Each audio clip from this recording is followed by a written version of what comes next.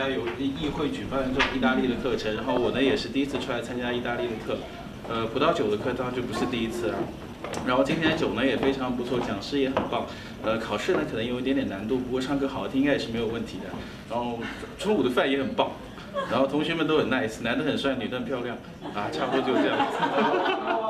呃，我一直都很欣赏意大利的 lifestyle，然后是我很喜欢的一个国家。然后这一次参加这个 wine 的 course，我觉得对他们的饮酒文化有了更多的了解，然后非常开心也认识一些啊新的朋友，非常好的 experience，谢谢。